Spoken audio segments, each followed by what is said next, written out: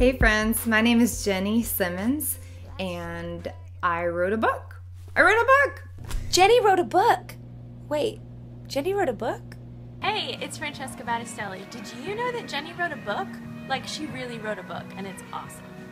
So, by the way, did you know that Jenny Simmons wrote a book? Jenny, I know she's a songwriter. She wrote a book. I know, she wrote a book. Like, not a songbook, not like a coloring book, but like a book where like she types all the words. Like it doesn't even rhyme. It's like a real book. Jenny. She wrote a book. There's really nothing that the girl can't do. She's writing a book.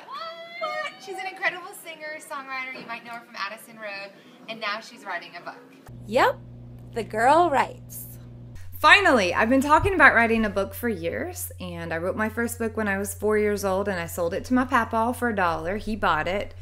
It was totally inflated price for the 1980s, but I've been writing ever since. I've been talking about writing a book for a long time, and a lot of you, mostly my dad and my husband and some blog readers, have told me along the way that I've got to get these stories down that I tell on stage during concerts. I have to get them down in a book. I took this fall off the road. It was the first fall I've had off in 11 years. And I just wrote. Every day I woke up and I wrote and I wrote and I wrote. I believe what came out on the other side um, was a pretty accurate view of the road and journey that I've traveled the last two years. I call it the road to becoming.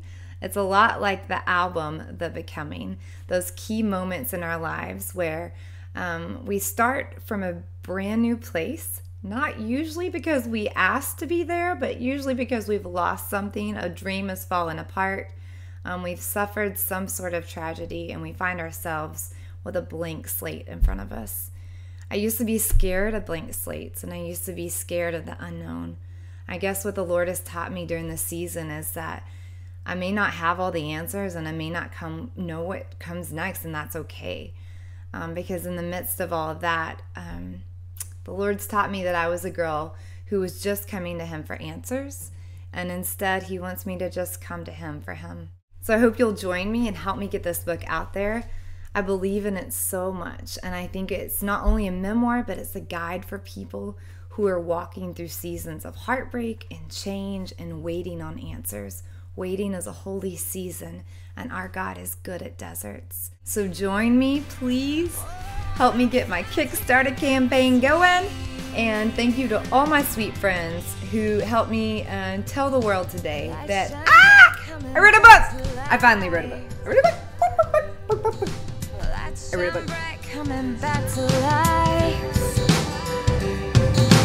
That sunbreak coming